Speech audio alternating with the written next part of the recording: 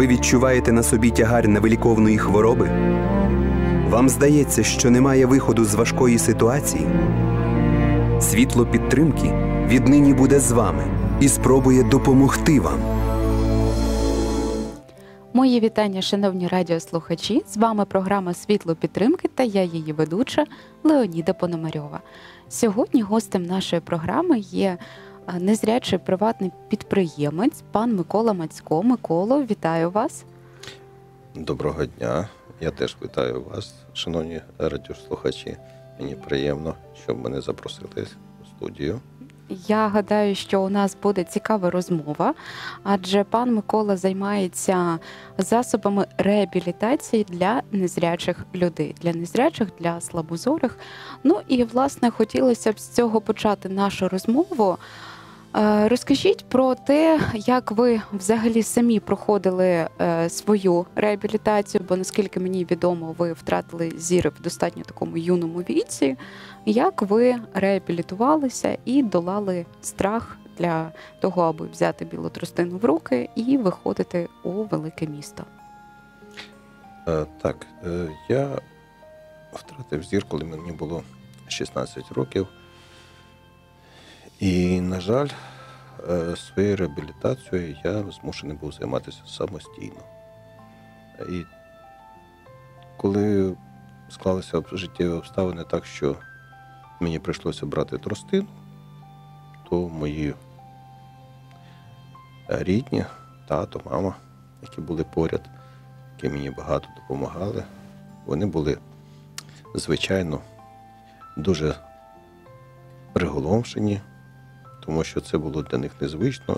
І це для багатьох е, з людей, які штовхуються з подібною ситуацією, коли треба брати і щось робити самостійно, це є певний стрес.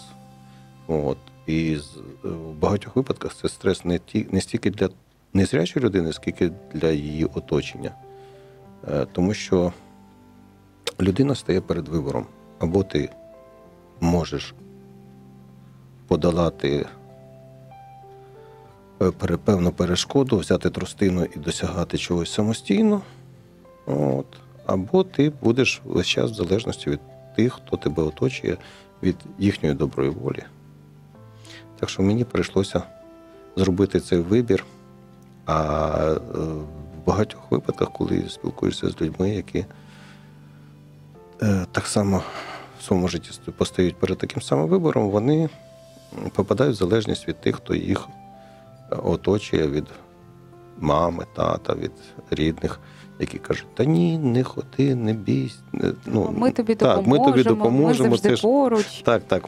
Нащо тобі це, це ж це ж страшно, це ж.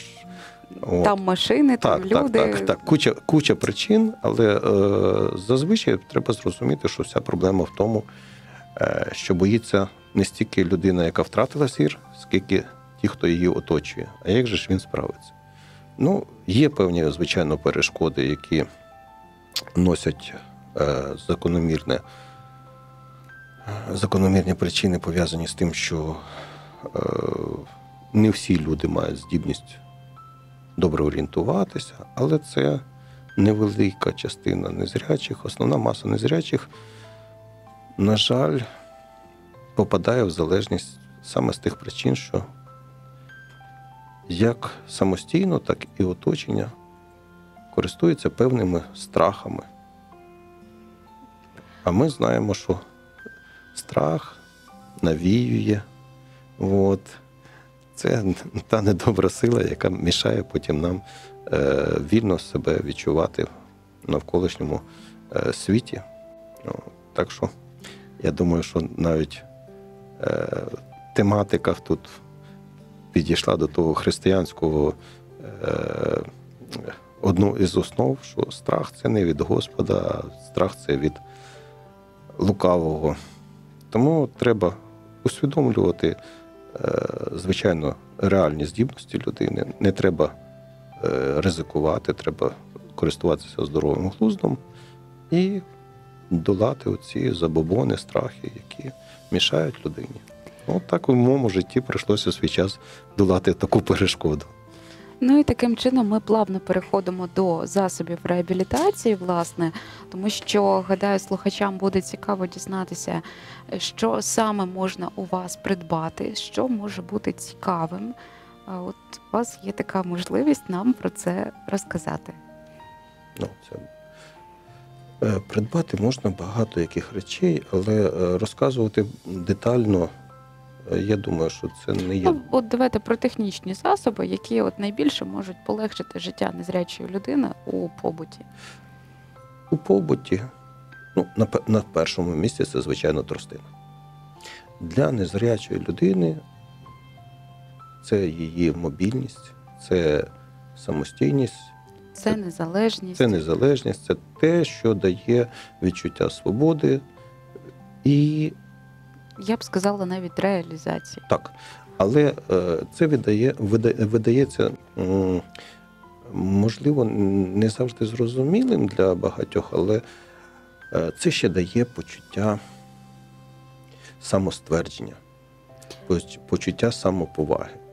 Тому що коли людина вона е, може щось реалізувати самостійно, це формує в, неї самоповагу. Тому що багато незрячих вони попали в ту ситуацію, коли вони залежні від інших. Е, І це е, про це мало, мало чомусь люди говорять, але для того, щоб себе поважати, ти повинен на ділі чогось досягнути. Ну тут, власне, напевно, стоїть питання того, що часто у нас пишуть, що для незрячої людини потрібен супроводжуючий, і мало хто робить акцент справді на реабілітації, аби людину навчити користуватися тростиною, якщо вона втратила зір у дорослому віці або в школі, щоб цей був предмет обов'язковим. Супровід це добре, але перш за все має бути звичайно просторова орієнтація за допомогою білої тростини. І е, тут буде закономірне питання, які критерії вибору е, білої тростини, які вони є за якостями, за виробниками. Ну, є багато виробників, але, на жаль, не всі виробники навіть розуміють, що, що, що вони виробляють. Тому що е, у відділах соціального захисту е, до недавнього видавали тростини, умовно тростини для незрячих, які навіть не були білі. А ми знаємо, що колір білої тростини це є е, символічний колір, який прийнято у всьому світі, е, який дає можливість людям, які навколо нас, відразу зрозуміти, що людина, яка користується саме білою тростиною, людина має проблеми з зором. Да, це така Або це, люд... так, функція. або це людина незряча, або людина дуже погано бачить. Е, Саме ці категорії людей, користуючись білою тростиною, вони повинні при виборі тростини брати. Ну, головні аспекти при виборі тростини це е, тростина повинна бути міцна, легка, зручна. І е, для зручності повинна не тільки бути зручна, зручне руків'я з тростини, тобто, щоб вона добре трималася в руці, а ще й довжина тростини. Останніми роками поширилися наконечники, які крутяться навколо осі, і це дає можливість е, незрячій людині е, змінити навіть методику пересування, коли вона не е, тростиною не торкається точки зліва, точки справа, а вона може вести тростиною по поверхні, по доріжці, по тротуару, по якому вона рухається. Таким чином вона отримує інформацію не про дві точки, куди вона поставила тростину зліва, справа перед собою, а отримує інформацію про ту всю поверхню, по якій вона рухається. Тобто значно більше інформації, і це, звичайно, полегшує нам пересування. От, от такі основні вимоги при виборі тростини. Е, основними виробниками тростин, е, які популярні як в Європі, так і в, інших країнах світу, та й у нас, це є м, канадська фірма Амбутек і чеська фірма Сваровський. Ці тростини виробляються з алюмінію. І е, також вони ще виробляються з е, композ, композитне, тобто вони вироблені е, з вуглецевого волокна, які е, спеціальний сплав на з'єднаннях використовується для полегшення ваги самої. Я, наприклад, особисто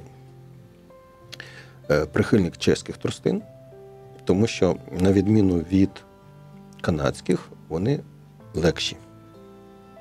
І в свій час, коли я е, взяв в руки чеську тростину, я зрозумів, що на сьогоднішній день е, це є найбільш оптимальний варіант. Хоча є прихильники канадських тростин, але тут треба, щоб кожен вирішував вже індивідуально. Тому що хтось е, є такий міцний, і йому справді можливо і приємніше ходити з тяжкішою тростиною. От. Тому я, наприклад, це е, зробив вибір для себе. Кожен повинен е, прислухатися до порад інших, але приймати е, якесь рішення особисто. Ну, я гадаю, завжди є варіант спробувати, да, там, Так, так. користуватися тією тією і зробити свій власний вибір. Все ж таки хочеться від вас почути, що ще, окрім тростини, є головним. Сказати, що це головним, це було б не зовсім правильно, одним але те, що нам допомагає. Так, Ну, ви розумієте, що є багато речей, які, з якими ми штовхуємося, починаючи від кухні і закінчуючи е, іншими сферами нашого життя. На кухні це є індикатори рівня рідини.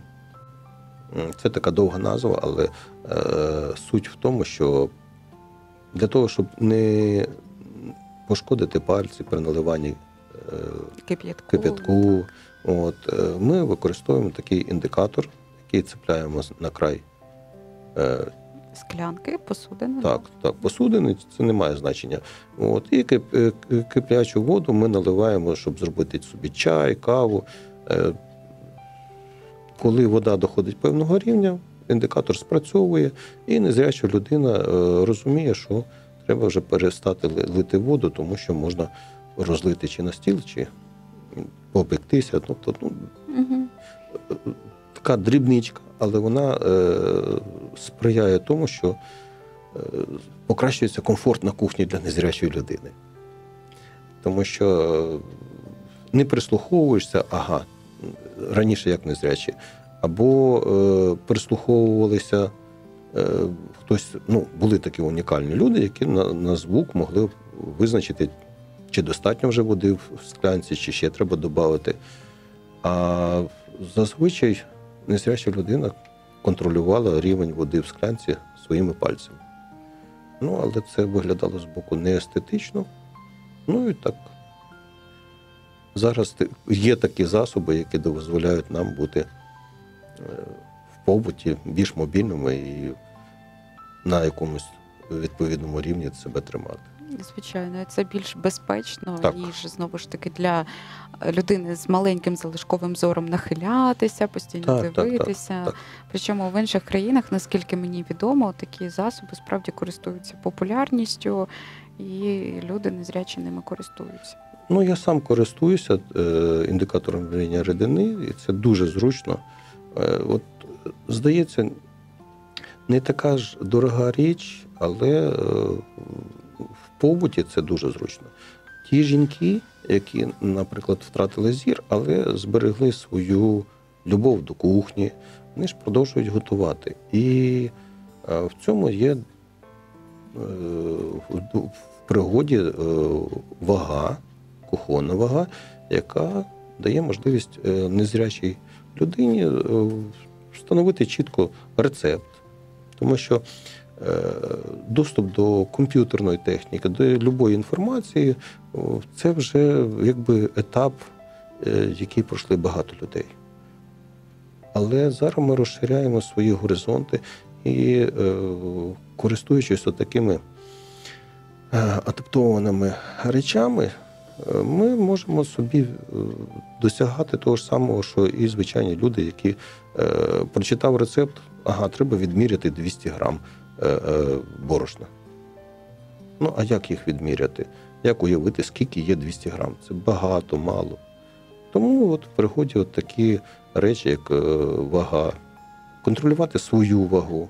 Це є напольна вага, якою людина може скористатися, е, стала зранку, зважила себе і розуміє, що сьогодні треба додати на тренування, більше займатися спортом, от, якось поміняти харчування. Тобто, головна думка, яку я б хотів би поділитися, незрячі люди вони є точно такі саме самими людьми, як і зрячі. Тільки використовуючи трошки от цих технічних засобів, які дають доступ незрячій людині до інформації, от, вона може жити абсолютно таким же самим звичайним життям, як, як, як живуть всі інші люди.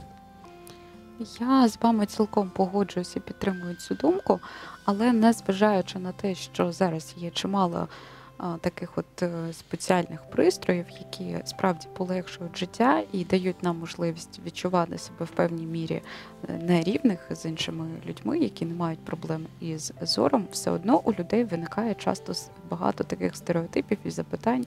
І пересуваючись містом, часто можна почути, коли починаєш вже з людиною в діалог вступаєш, той, хто тобі запропонував допомогу. Ой, а як же ви можете готувати? А як же ви можете там знаєте, який колір одягу у вас і так далі.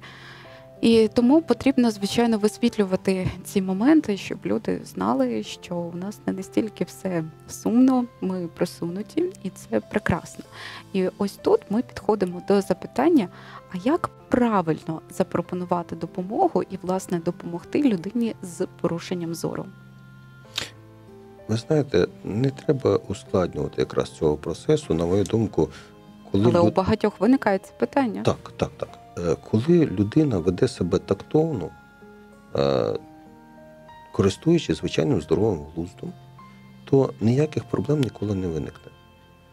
Тому що набагато простіше, бачачи незрячу людину підійти і запропонувати допомогу, або запитатися її про те, е, куди вона йде, чи можу я вам допомогти. І незряча людина вона адекватно реагує на ці всі е, ситуації. Вона каже так або ні, тому що буває, що е, стоїть незряча людина, когось чекає е, своїх друзів чи, знайомих. А буває, що справді не може зорієнтуватися і потребує цієї сторонньої допомоги. Тобто, саме головне це почати спілкуватися, тому що незрячі люди вони вміють говорити. З цим проблем у нас немає. От, і ми цілком адекватно відповідаємо на запитання, як- які до нас е, нам задали. Але буває, що людина е, чи соромиться, чи не може е, задуматися, коли складається ситуація, іде незряча людина, зряча людина іде позаду і починає говорити вліво-вправо, не знаючи навіть, куди е, незрячій людині е, справді потрібно. От вона думає, що це краще, а це навпаки незрячій людині заважає зорієнтуватися, тому що якщо незряча людина йде по знайомій для неї місцевості, вона вже знає ті орієнтири, і це зазвичай бордюри. І часом вони йдуть по правій стороні, а часом по лівій стороні тротуара. І для зрячих людей бувають ситуації, коли вони думають, ой, він не знає, куди йде. Зазвичай це не так. Да, да, це От, дуже але- часто і тягнуть так, не так. в ту сторону. Так, так, так. От, тому е, зазвичай, е, щоб уникнути якихось непорозумінь, треба просто запитатись. Так, і е, буде цілком нормально, якщо незряча людина відмовиться. Це теж може Абсолютно правильно. бути. Тому що бувають різні ситуації, коли, наприклад, е, я хочу е, прогулятися, не поспішаючи, або е, якось чекаю. І, нема просто потреби в цій допомозі. Е, не за того, що людина невдячна, вдячна, але е, Ну, ми теж маємо Так, право вибору. так, да? так. Нам запропонували, ми можемо Ну. відмовитися або прийняти цю допомогу. Так, на жаль, буває дуже часто, коли е, люди, які бачать, вони набираються відваги вже під впливом алкоголю. І е, незрячим це теж не завжди приємно, коли людина в такому стані підходить та по- по- починає пропонувати допомогу. Так. От. Тому- що е, ні, в більшості випадків навіть під впливом алкоголю люди е, зберігають вони свою стають адекватність. милосердними, вони ніби як так. більше починають когось знімають, помічати так, знімають себе. ці всі бар'єри е, свої, але е, ну, це так, як і звичайним людям, е, е, які, е, ну, самі зрозумієте, коли хтось е, вживає алкоголь, а хтось дивиться на це, Так. ну, воно буває неприємно просто. Звичайно. І тут хочеться трошечки порівняти от умови, які є у нас в державі, і ті, які є за кордоном, власне, і щодо засобів реабілітації, і щодо пересування. Я знаю, що ви багато де подорожуєте, зокрема, брали участь у велопробізі в Німеччині. Ну і взагалі дуже багато країн відвідали. От поділіться своїм досвідом, що ви можете сказати в цьому контексті. Ви знаєте, е, коли нам розказують, що в Європі все так гаразд, е, то я скажу, що там є теж над чим працювати, але повинен визнати, що в Європі є дотримання будівельних норм. І коли рухаєшся вулицями якогось європейського міста, чи це маленьке містечко в Польщі, чи велике місто в Німеччині, там просто знаєш, що перешкод несподіванок їх просто не буде. Тому що якщо вона є, за це хтось має відповідати. І оця відповідальність, е, вона створює оце безбар'єрне середовище, тому що там справді є люди, які конкретно відповідають за дотримання норм будівельних, яких, на жаль, у нашій державі Не дотримуються. не дотримуються. Це сумно констатувати, але Це е, факт. є факт, і, і е, зазвичай ці всі норми вони пов'язані з здоровим глуздом. У нас зараз е, є такі перешкоди, які, які люди штучно створюють, е, думаючи про одне, але забуваючи про інше. Це е, полусфери, які з'явилися в великих містах, та навіть і не в великих містах, а вже і бачу і в маленьких містечках. Е, Ніби люди хочуть огородити територію від е, того, щоб не паркувалися машини на тротуарах. Е, І це їхнє право. Але вони забувають про те, що є люди незрячі, які, ідучи самостійно з тростиною, вони просто промахуються по цій полусфері, чи е, металеві труби, чи як шти- які, Ну, так, е, е, вони- які якраз є невисокої довжини. Да, і травматичними. І незрячі люди е, калічаться не через те, що вони не вміють ходити, а через те, що такі перешкоди вони е, дуже небезпечні. І я мушу визнати, що навіть в центрі міста біля КМДА є такі самі перешкоди. І скільки не звертаєш увагу зря, зрячих людей, е, чомусь е, вони продовжують оці всі перешкоди встановлювати. А це справді, е, от ми говоримо про те, що ми незрячі, повинні бути більш самостійними. От, ну, це так, як, як мінне поле. Тому що як би ти не вмів ходити, е, є завжди шанс промахнутися тростиною, і тростина попадає просто е, мимо е, такої перешкоди. І тут виникає у зрячих завжди питання: а що ж робити? Машини паркуються на тротуарах, ми ж хочемо якось. В Європі це питання вирішили. Перешкода повинна мати висоту метр двадцять. Ця ж сама коротенька труба, яка е, знаходиться ну, біля парковок, ще десь, яка обмежує е, проїзд на тротуари машинам, вона повинна бути висотою метр двадцять, не менше. Незрячий ніколи не стукнеться е, в стовп. Так чому? Тому що він дуже легко визначається тростиною. А от маленькі оці штирі, які торчать, от вони є дуже небезпечними. Полусфери, які е, зараз встановлюються, вони є теж небезпечними. Якби ця полусфера мала висоту метр двадцять, абсолютно ніякої перешкоди для незрячої вона не становила. Людина просто тростиною тоді зацепила б її і обійшла. Ну, такі ніби е, е, речі прості, коли ти починаєш над цим задумуватися. А коли людина не думає, вона створюючи одне, е, от створює такі небезпечні умови для незрячих. Так, і наскільки мені відомо, в Європі є відповідальність от за порушення Так, таких так, так. норм. А у нас поки що будемо сподіватися, це вирішиться рано чи пізно. Ну, ви зрозумієте, якщо ми беремо, наприклад, територію, яка знаходиться біля чогось, ну, завжди є власник. Принаймні він має бути. Ну, а в нас е, таке враження, що е, коли треба використати територію для того, щоб розмістити е, кав'ярню, то власник знаходиться.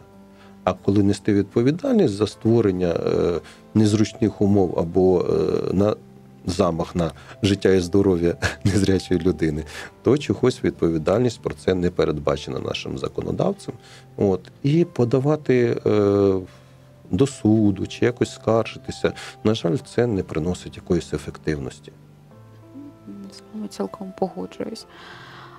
Власне, е, ну, говорячи про все вище зазначене, хочеться, щоб ви дали свій коментар щодо відкриття статуї незрячого чи незрячої, е, незрячій людині, е, яка, яку поставили на станції метродарниця на цьому тижні. От як ви можете прокоментувати цю подію?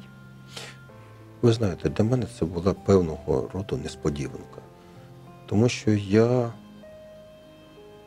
пам'ятаю, ще коли я бачив, що пам'ятник це, ну, це якийсь витвір мистецтва, це якась красота, і принаймні воно має нести якусь ідею. Якби це був пам'ятник якоїсь людині конкретній, е, чи тому ж самому Батюку, це відома незряча людина, чи е, Ярошенку. Це теж відомий незрячий, який е, жив Еспірант, 100, 100 років назад. Так, письменник, так. поет, Ну, перекладач, про- мандрівник. так. У нас, на жаль, про нього дуже мало відомо, але е, в середовищі незрячих ми знаємо, що були незрячі люди, які справді чогось досягнули в цьому житті, і вони гідні бути прикладом. То важко зрозуміти, що хотіли показати цим пам'ятником, е, будуючи просто пам'ятник про незрячу людину. Ну наскільки відомо в засобах масової інформації, зокрема від УТОСу, що це привернення уваги до проблем незрячих людей. Але на мою суб'єктивну думку, теж напевно відкриттям цієї статуї навряд чи хтось буде більше дивитися на проблеми незрячих. Знову ж таки, тут краще б законодавство врегулювати для доступного простору. Ну, воно ніби одне іншому не суперечить, але взагалі, коли е, щось роблять, це м, мало б бути якась ідея. Просто говорити про те, що незрячий він, е, от пам'ятник незрячому. Ну і що? Незрячий це досягнення, чи незрячість це є е, якесь е, привернути увагу. Незрячий це така ж сама звичайна людина, яка живе в нашому середовищі. Для нього певні умови створивши, ми можемо е, цілком нормально жити. Е, знаєте, багато років ми вже говоримо про серед незрячих та й взагалі про те, що не треба вирішувати наші проблеми. Створіть певні умови, і ми маємо сили самостійно вирішувати ті ж самі проблеми, з якими кожного дня штовхується звичайна людина. Тому що ми незрячі, ми такі ж самі звичайні люди. Ми є хороші, погані, е, з, з якимись Зі своїми якостями так, так, характеру, так, так. цілком. От, спокійні е, і- не дуже врівноважені. І таке буває. Тому що робити е, е, з незрячого щось таке особливе, я думаю, що це недоцільно. Просто треба створити умови, і незряча людина при створенні певних умов вона абсолютно є самостійною. абсолютно може вирішувати багато питань. Так, є деякі питання, де нам важко. От, власне, ви 15 років займаєтесь приватною діяльністю, е, приватним підприємництвом. От е, можете трошки поділитися тим, які у вас були перешкоди на вашому шляху, і можливо, от на сьогодні, наскільки мені відомо, якщо це питання ще є відкритим, е, вам теж потрібні працівники. От які у вас критерії відбору до ваших колег можуть бути? Розумієте, що сказати, що були якісь особливі перешкоди, е, не було їх, таких якихось особливих. Тобто, як і в кожної звичайної людини, е, була спочатку ідея, спочатку був е, досвід е, в тому, що я починав з громадської роботи, дякуючи моїм колегам, які свій час почали популяризувати комп'ютерну техніку і можливість незрячим е, опановувати її тут, в Києві. Е, Це е, пан Володимир Турський, це інші знайомі, які мене підтримували, коли я освоював комп'ютер. От, громадська діяльність, з якої я починав себе там е, на Волині, де я тоді е, мешкав, е, для того, щоб іншим незрячим допомогти освоїти комп'ютер за допомогою спеціальних програм, які озвучували тексти і давали доступ до інформації, до книг, до періодичних видань, до тої інформації, яка допомагала незрячим ну, навіть просто вчитися. Тому що ми таке перше наше відчутне досягнення це коли ми е, склали у місті Нововолинську, де я мешкав, е, перший комп'ютер. Нам допомогли місцеві підприємці, і ми поставили там звукові програми. Це було. А другим нашим досягненням це було е, коли у Волинському національному університеті імені Лесі Українки за підтримки адміністрації ми поставили для студентів озвучений комп'ютер. Воно на сьогодні е, багато незрячих людей, та я маю такі е, комп'ютери в себе вдома, і це не є щось таке. А тоді це був 2001 рік, це було справді велике досягнення, коли студенти е, отримували цю незалежність і могли самостійно сидіти в бібліотеці і слухати підручники, сканувати їх. От, тоді це було справді таким потужним кроком вперед до інформації. Ну, звичайно, відкриття нових можливостей для підростаючого покоління теж це був такий показник, що все можливо, треба лише мати бажання йти навчатися, йти далі працювати. У нас залишається зовсім трошечки часу. А скажіть, будь ласка, про свій девіз у житті, яким ви керуєтесь? Що вам допомагає? Який принцип? Так відразу. Ну, зазвичай е, ну, сказати, що от якийсь один принцип е, ні. Але є такі речі, які я для себе виніс у житті, коли спостерігаючи е, свій час за іншими, я дивився, коли е, старші люди сиділи по під, під'їздом та й все бідкалися. От, змінилися часи, раніше було добре, от ми могли те, ми могли те, е, все було таке дешеве. Я задумався, знаючи трошки теж радянське життя, я згадував, що слухаючи людей, що вони могли собі дозволити за 10 е, рублів купити багато чого, я знав, що вони не купляли того всього. Та й купити було не так легко якісь дефіцитні товари, тому що маючи гроші, не завжди можна було реалізувати е, це все в житті. Того е, я зробив для себе один висновок. Краще спробувати і зробити це, ніж мати можливість, але не користатися цією можливістю. Дякую. І на цій позитивній ноті нам доводиться з вами попрощатися. Я нагадаю, що у студії з нами був Микола Мацько, незрячий приватний підприємець, який багато розповів про засоби реабілітації. Якщо вас це зацікавило, у Миколи є сторінка на Фейсбуці. Ви з ним можете зв'язатися, знайти його е, і втілити. Е, Все те, що ви хочете купити, придбати для полегшення вашого життя.